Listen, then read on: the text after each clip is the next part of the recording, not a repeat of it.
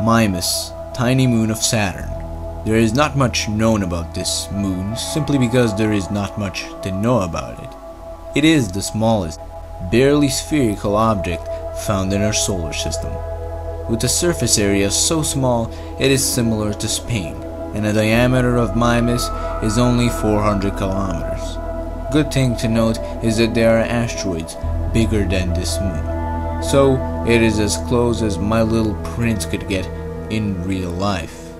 Its size is what makes this object so interesting. While being on it, it would feel similar to just being in vacuum, with a little gravity pulling you down. Basically, it's just like being in space. Gravity is about 153 times weaker than on Earth. Temperatures are minus 200 Celsius on average, and it gets extremely large doses of radiation and deadly gases just because Saturn is so close. This is not a good place for any life.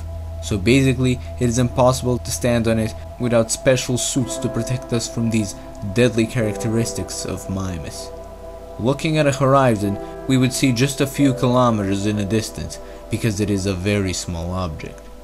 We would quickly realize that the surface is icy, water icy, with a few rocks, probably slippery. Mimas' surface has big craters, and that would most likely be the landing spot.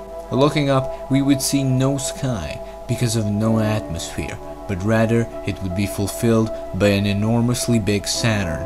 A spectacular view would be seen, since Mimas is the closest to Saturn out of all moons, standing at about 185,000 kilometers, which is absolutely nothing since Saturn is a giant and it is smaller than a distance from our moon and Earth. Because of its water icy surface, it is suspected and it is highly likely that there is an ocean underneath Mimas' surface. Other than that, there is not much data regarding Mimas because there is no interest in it. Maybe in future one day we could visit Mimas as it would be interesting to see such views of craters and Saturn.